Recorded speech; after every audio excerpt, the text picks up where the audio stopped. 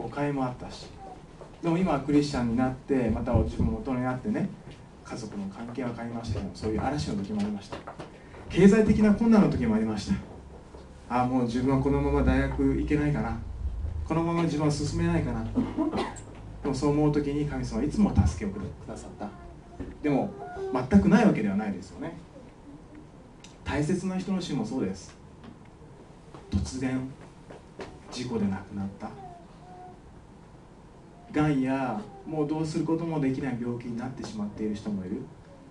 そういう中で嵐に見舞われた時その心って穏やかじゃないですよね。気が気じゃない。皆さんどうでしょうか？そんな嵐来ても大丈夫だよ。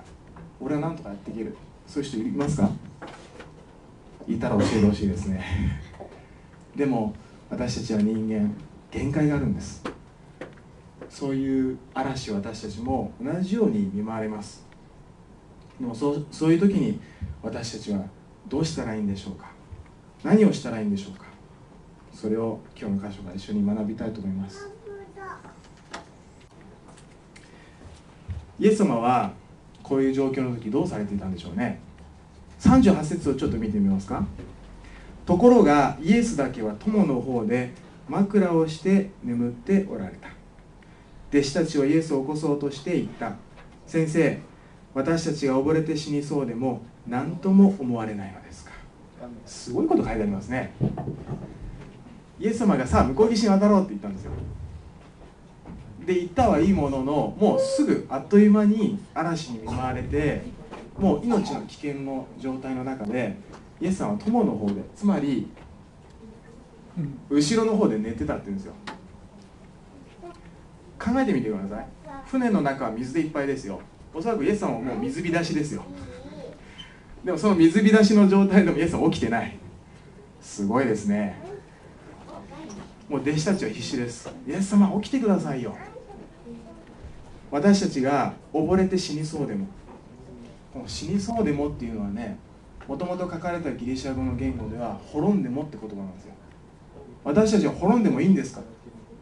ある意味強い口調である意味イエス様のせいにするかのような言い方なんですこれ。何とも思われないんですか？何とも思うどころかイエス様は危ないじゃないですか。ねこの船が沈んだら。そう考えてみるとさっきのね人生の中で会う嵐っていうのは僕たち同じ状況によくなりやすいと思うんですよね。どういうことかというと問題が起きた時嵐が起きた時どこかに原因を探します。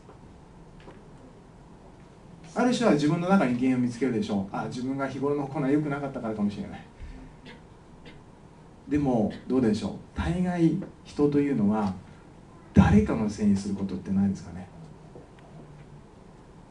自分の親のせいであの人のせいであいつのせいでこういう状況ができたのは自分じゃない。誰かのせいだって言って他の人に原因を見つける。他の人にその原因をなすりつける。そういう人の深い罪という問題がここから見えてくると思うんですね。弟子たちはイエス・キリストがどういう方かその前にいろんな出来事を通して少しずつ学んでいました。イエス・キリストは神の子であるということ。そして神の力を持って人々を癒したり祝福できることを見てます。なんだけどもこの状況では先生私たちは溺れて死にそうでも私たちが滅んでも何とも思われないんですか？というそういう反応そういうことを投げかけたわけです。イエス様はそれに対してどうされたんでしょうか？39節イエスは起き上がって風を叱りつけ湖に黙れ沈まれと言われた。すると風は止み大なぎになった。イエス様はその状況になった時にまずその嵐を湖を沈められました。黙れ沈まれって言って湖へ言うことを聞くんです。黙れ静まれって言ってその嵐は言うことを聞いたんです。なぜでしょうか？でっかい声で叫んだから？じゃないですよね。イエス・キリストは本当に神の子だから。本当に神様だからです。この聖書の一番最初の創世記というところには神様が全てのものを作ったことが書かれています。神様が天と地を作られた。神様が太陽を作られた。水を作られた。湖を作られた。風さえも作られました。そして私たち人間も偶然ではなくて意図的に目的を持って作ってくださったことが漱石にはっきりと書いてあります。ですからこの湖たちも言うことは聞くんです。神様にはね。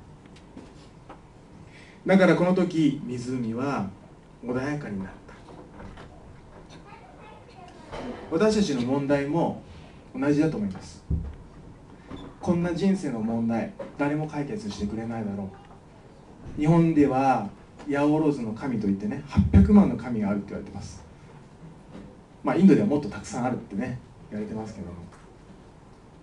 いろいろなところに行って、ね、商売繁盛家内安全。いろんなことを願います。最近ではね元旦に初詣といってお寺や神社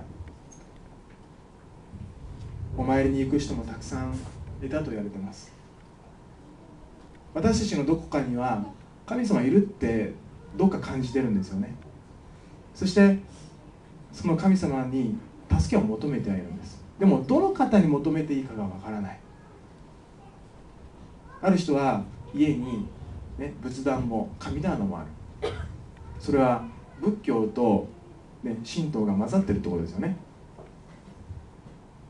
結婚式はキリスト教。葬式は仏教。そういう方もいらっしゃいます。ここでは神様がどういう方なのか私たち改めて覚える必要があると思います。イエス様はその後言われました。イエスは彼らに言われた。どうしてそんなに怖がるのです？信仰がないのはどうしたことです？彼ら大きな恐怖に包まれて互いに言った。嵐や湖までが言うことを聞くとは一体この方はどういう方なのだろう？これからのこの日本語礼拝では一体この方はどういう方なのだろうということをぜひ知っていってほしいなと願ってます。イエス様はただ単に神の子だけっていうことじゃなくて知識だけのことではなくて本当に生きて私たちと共にいてくださる方です。ですから一体この方はどういう方だろう。ぜひ知ってほしいんです。この日本語礼拝だけではない。もちろんいろんな時に聖書を読んだりまた信仰の仲間と分かち合う中で神様の素晴らしさを知っていくことができます。でも知り続けてほしいんですね。なぜならば私たちの頭のこの頭脳の中で神様を全て理解することができないから。この人生をかけても全てを理解することはできないでしょう。でも神様は大切なことはしっかりと私たちに教えてくださる方です。ですからこれからそういうことを知っていってほしいなと思います。皆にとってイエス・キリストってどういう方でしょう？